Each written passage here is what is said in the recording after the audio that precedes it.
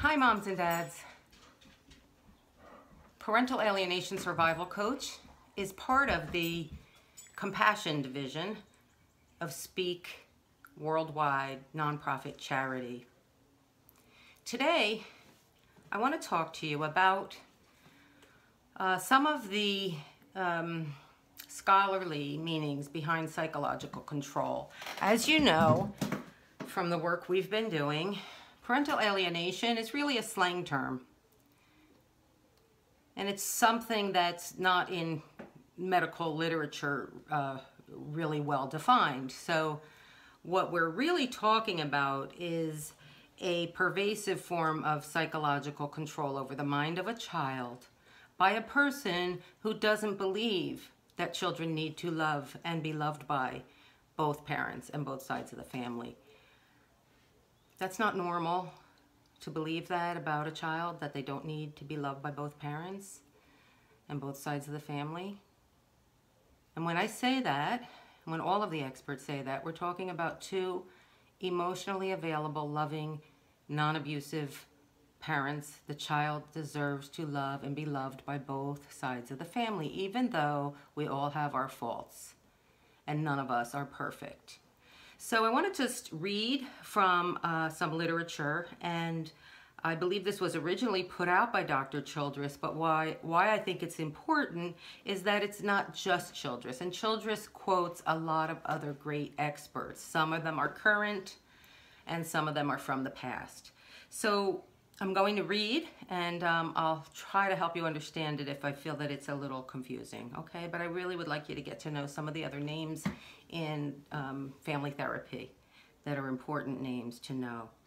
So parental psychological control is divine, defined as verbal and non-verbal behaviors that intrude on youth's emotional and psychological autonomy.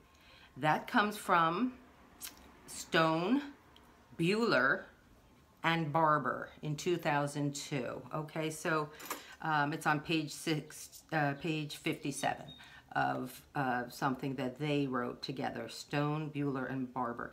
What's important there that I would highlight is that um, it's defined as verbal and nonverbal, okay, nonverbal behaviors that intrude on the on the youth's emotional and psychological autonomy. That means, you know, when you say psychological autonomy, that means they're, you know, they're independent thinking. So if something is intruding on their independent thinking and leading them to believe that, you know, in, in this case, a parent is bad, is evil, is not worth your time. Okay, so, but it's, what, what's important is they're saying it's done verbally and non-verbally. So things that happen, and I'm, I'm, they're not they're not unique to anyone because they happen in pretty much every situation. But here's an example of a nonverbal: is uh, a parent uh, calling and saying, you know, I thought the child was supposed to come today. Why aren't you here? It's you know, an hour past the time you were supposed to drop off the child,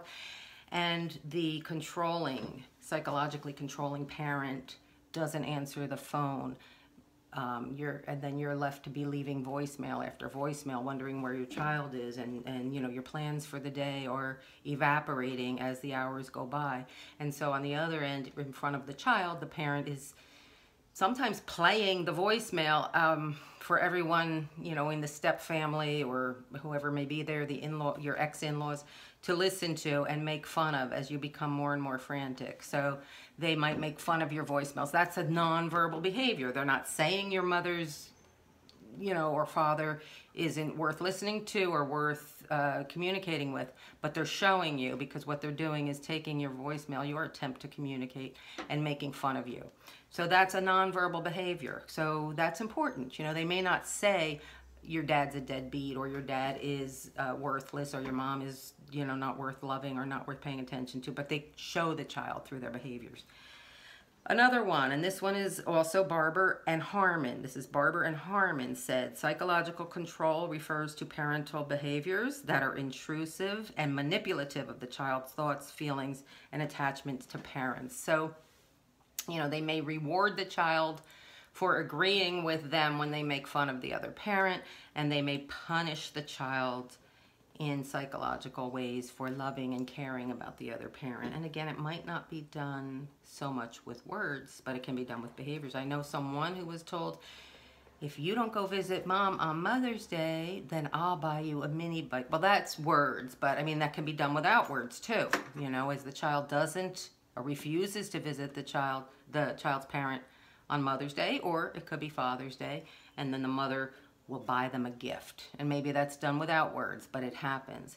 And vice versa, punishing behaviors when the child does say, but I really want to see daddy, it's Father's Day. And somehow a punishing behavior ensues. So that's Barber and Harmon. Um, here we have Huey, Morris, Criss, Houltberg, and Silk. Again, you know, I, it's, it's important that we know that we are uh, getting our information from a multitude of sources. It's not just one psychologist that says these things. There's so many. And, and you know, I always refer to Baker and Bone and obviously Childress and uh, Miller and Warshak. And you can look any of these names up on the, in, on the internet and you'll see YouTube videos and scholarly papers. So this one with five authors, psychological control has historically been defined as psychologically and emotionally manipulative techniques. This doesn't even say words or parental behaviors that are not responsive to the child's psychological and emotional needs.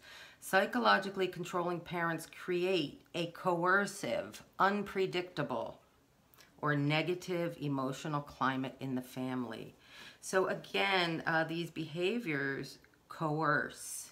They're coercive. Our poor children have been coerced to believe certain things about us that are not necessarily true. What is true is we're humans. We all have our faults. But unfortunately, as you know from other videos I've done on splitting behavior, the children split us into a category of all bad. You're either all bad, or if you agree with the alienating parent, then you're okay in their book. Um, central elements of psychological control are intrusion into the child's psychological world and self-definition. Remember, you're half of the child. You are part of the child. So the child has, you know, two contributing parts to them. And when you make them think that one of those parts is so bad, so bad that it's not worthy of love, then you are, like it says here, um, intruding into the psycholo child psychological world and self-definition and parental attempts to manipulate the child thoughts and feelings through invoking, invoking guilt, shame, anxiety. Um, and I'm going to add a little about the about loving the other parent. Psychological control is distinguished from behavioral control in that the parent attempts to control through the use of criticism, dominance, and um, anxiety or guilt induction to control the youth, the youth's thoughts and feelings rather than the youth's behavior. So that's why it's so damaging and so serious. They're trying to control your thoughts. It's like mind control. You've heard that term. So psychological um, abuse is like mind control, but it's an actual defined in the medical literature um, diagnosis, psychological child abuse. And that was Stone, Buehler, and Barber. So you're starting to hear some of the same names again, but all of these people collaborate with, you know, other experts in the field, and that's why you start to hear some of the same names again. Uh, there's more. I don't want. I didn't want to make this video too long. I'm going to try to keep it under 10 minutes. So we'll do another one or two, and this one again is Stone, Buehler, and Barber. Okay, so it's from the same paper. Unresolved tension in the adult relationship might spill over to the parental-child relationship through the parent's use of psychological control. And remember, that is a way, psychological control is a way to control the youth's thoughts and feelings, okay? So through the use of psychological control as a way of securing and maintaining a strong emotional alliance and level of support from the children. I'm gonna pause there and just add my comments. Not good to try to get support for an adult matter from the poor children. That puts them in the middle, that triangle. Well, here we go. As a consequence, the triangulated youth might feel pressured or obligated to listen to or agree with one parent's complaints against the other. It's a mess. It's a terrible mess, and it puts the kids in a really bad spot. The resulting enmeshment and cross-generational coalition would exemplify a parent's use of psychological control to coerce and maintain a parent-youth emotional alliance against the other parent. That is Haley, Minuchin, and again, Stone, Barber, and uh, Buehler. So, you know, unfortunately, it is a really big mess, but I wanted to just take this video to define psychological abuse, which is really what we're talking about when we use the slang term parental alienation. I think educating yourself, staying educated, staying current is very helpful. Um, it doesn't guarantee anything that um, the behaviors will change or that uh, you know there's no guarantee your child will come back. But as long as they are living no matter how bad they seem to hate and reject you there is a chance that someday a light bulb might go off. And that's why it's important for you to stay strong. Stay strong moms and dads. Try to live the best most happy version of yourself that you can possibly live because a day might come and you don't want to be a big emotional mess if that day comes that the children want to reach out to you. So stay strong, hang in there, moms and dads. You're not alone. None of us are.